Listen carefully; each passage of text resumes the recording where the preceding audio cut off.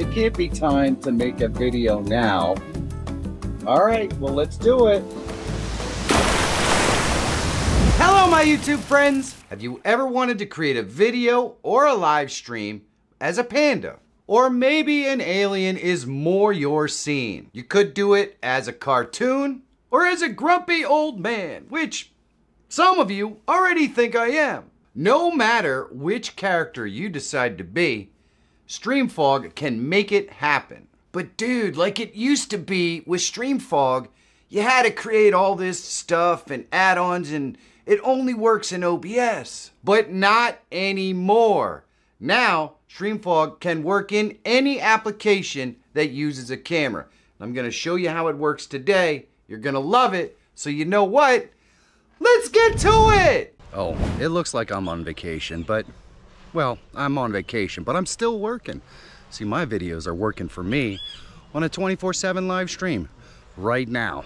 Let me tell you about it. Just log into Upstream. You're gonna go ahead and click on your media library. You can create a folder if you want. You go over here and you upload files. You just drop your files in here and they're gonna upload for you. Once you do that, you can just create a new stream. And inside that stream, you're just gonna add the videos that you already uploaded. You can take these videos and put them in any order that you want, move them around and adjust them. You can set your settings over here for things like when you want ads to run and stuff like that. And pretty much once you're done, you can come up here, click start stream, and you are live streaming 24 7. It's really that easy. And if you want to go even farther, you can come over here to Stream Designer and add all kinds of little flourishes that will just add something extra to the stream. Now, the thing I love most about Upstream and 24 hour live streaming is it gives me the ability to repurpose old content and give it a new life. But the second best thing is that anytime, day or night, I can pop into that live stream and have a conversation with my audience. And that is always really cool. So if you ever wanted to try out 24 hour live streaming, there is a link in the description to check out Upstream. Thank you, Upstream, for sponsoring this video. Now let's get back to the content. So for those of you who aren't familiar with StreamFog, it's an application that allows you to change your face and do so much more. Previously, it only worked with OBS. But I'm going to take a quick second and show you what StreamFog is or was and how to get into their virtual camera now that will allow you to use StreamFog in any application that uses a camera. So Zoom or Restream or StreamYard or EVMux or anything you want. Prism Live Studio. Any application that uses a camera will be able to use StreamFog and it's really, really easy to set up. So for those of you who are new, let me hop in and show you how to set up and find lenses and things like that. And then I'll show you how to set up the actual virtual camera. So this is what it looks like once you set up. You're gonna have your Twitch profile right here. If you don't have a Twitch profile, doesn't matter, just create one. They're free, really easy. Create a Twitch profile you're going to have a dashboard. Now your dashboard when you first come in here is going to be empty. So you got to find some lenses. And you just go to the AR lens thing and it shows you what each lens will kind of look like.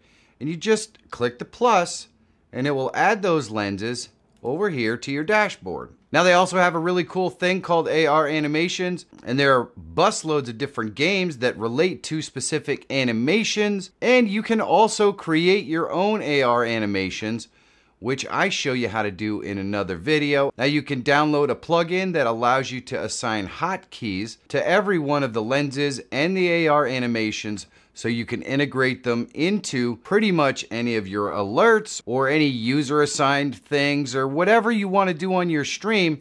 You can integrate the AR animations and the lenses and it will work with that just with the hotkeys. So the long and short of it is, once you pick out the lenses and you have your AR animations all set up, all you have to do is click on it and it's going to go ahead and change that lens on your face. Or you can also use the application that assigns the hotkeys, which is this one right here. So it's super easy to get in here and set up. But the way that you had to set this up the old way you needed to go through the setup guide and you have to modify your OBS shortcut and all that sort of stuff. And it only worked with OBS. Well, there is a link in the description right now that will allow you to download the virtual camera.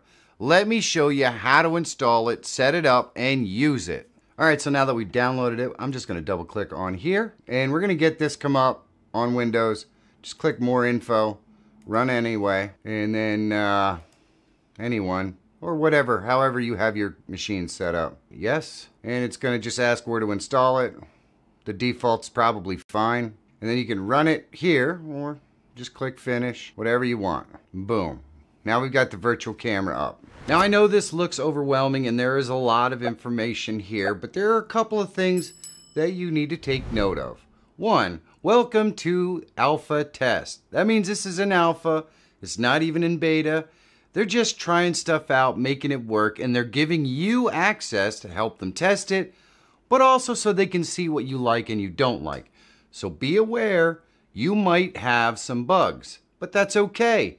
Just go on their Discord, talk to them, tell them what's up. They're really good at making sure that they make this what we want it to be. And that's all part of this virtual camera. Everybody wants it. Now we're going to have it. So we're in alpha. So the first thing I'm going to do is just go ahead and click register. And then we're going to click yes. And now we've registered to the system. And so I can go ahead and change this up. Now I know 1920 by 1080 might be a touch buggy right now, but we're going to give it a shot. We're going to give it a shot. So the next thing we need to do is get our remote key. Now we can just go over here and then we can log into Twitch. I'm already logged in over here. So I'm just going to go in here and I'm going to go to my camera setup and I'm going to just get my remote secret key right here. I can copy it right there. And I can close this down and go back in the app and I can paste it right here. And then we can start our virtual cam. And now it's running. So let's go ahead and open up some OBS all right, so all we have to do is click the plus, and now instead of having to use the browser source, we can just go into our actual camera. So we're to do video capture device, and we'll just call this stream StreamFog. Click OK. And now we just drop this down, and we're going to see our StreamFog virtual cam right here. Boom. We're all set. Now I can add a microphone to this by going down here, and there we go. Now we have a microphone and we can click OK. And you can see we have this I agree thing here. Now, if you do get that click on thing, I got it in 1920 by 1080. Sometimes if you just switch to 720, you don't get the click on thing.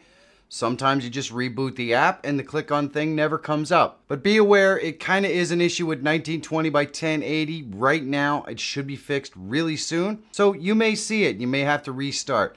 Once you restart and it works, it's awesome. Once we have it up and we have the app right here, you know, we've got our virtual camera right here, so we set everything up. But if we log into our app right here, it makes it really easy to just click on any one of these and boom, it changes to whatever we want. It's really simple then once you get in here to just change these around and use the app. And I know a lot of you are like, well, I don't understand. Why is the virtual camera thing so important? If you are not an OBS user, now you're not out of luck. Here we are in Prism and I can click the plus. I can go into video capture device, click OK, and name it whatever I want. And then I can just go here and I can select, you guessed it, StreamFog virtual camera. So now I can set this up. I can go down here. I can capture my audio. Click OK and bada bing. I can use this now in any application. So I can use this in Zoom. I can use it in EV I can use it in Restream and I can use it in StreamYard. Anywhere where you add a camera, you can now use it because of this virtual camera app. Now I think StreamFog is freaking awesome. These guys continue to work really hard to bring us really cool stuff for totally free. However, if you wanted something bespoke, well, I'm to include a link in the description down below that you can click on and have them make it for you and even get a discount. And if you have any problem with the app, it is in alpha, which means it's not even in beta and they're sharing it with us so we can mess around with it. If you have any questions, if you have any problems, don't get mad. Just get Discord, talk to them, let them know what's up. They're working hard to fix it for us. Now, is there something that I didn't explain about StreamFog well enough in this video? Let me know about it down in the comments. Now, also, if you want a much deeper dive into StreamFog, how it works, and even how to create your own AR animations, well, I have a video for that you could check out right here. And if you're always looking for tools, tips, and tricks to help make you a better live streamer or YouTuber, subscribe to the channel. My name is Michael Feyrer Jr. Thank you so much for watching. Have a great day, and I'll see you in the next one.